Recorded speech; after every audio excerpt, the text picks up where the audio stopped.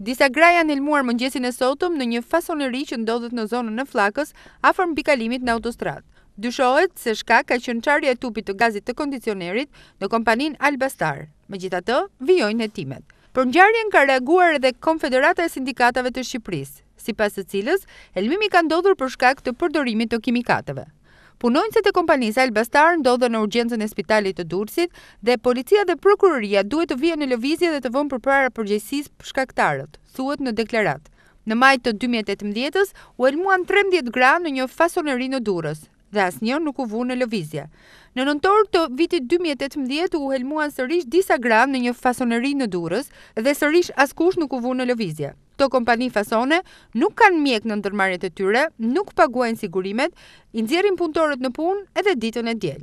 Skllavërimi është kthyer në një shqetësim dhe Konfederata e Sindikatave të Shqipërisë ka reaguar disa herë për këtë problem.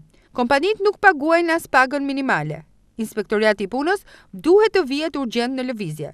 Ky institucion duhet të marrë masa për të pezulluar punën në këto rrobaqepësi, ndërkohë që duhet një hetim nëse janë respektuar kushtet e sigurisë teknike, përfundon deklarata. Në të njëjtën kohë, për Kol Nikollën, president i Konfederatës së Sindikatave të Shqipërisë, ndonëse rasti është i përsëritur, ende nuk ka asnjë përgjegjës edhe për ngjarjet e kaluara.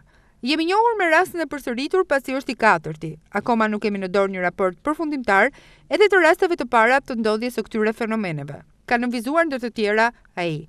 Inspektorati i Punës nuk ka kapacitete për t'i pasur nën kontroll. Problemi tjetër është mjekësia që nuk ekziston, punonjësit vetëm formalisht kurohen nga mjekët e familjes. Ata janë pa kartela dhe shfrytëzohen. Kemi një ligj me standarde europiane, por që nuk zbatohet.